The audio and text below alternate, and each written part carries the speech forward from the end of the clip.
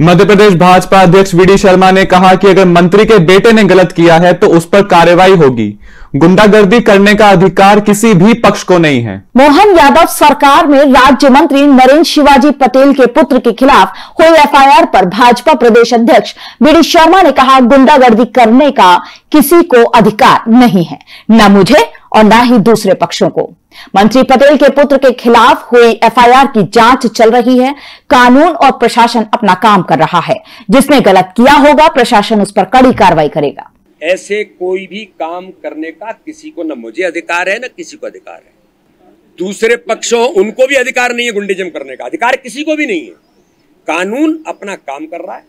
प्रशासन अपना काम कर रहा है। जिसने गलत किया होगा उस पर प्रशासन गंभीरता से अपना निर्णय करेगा।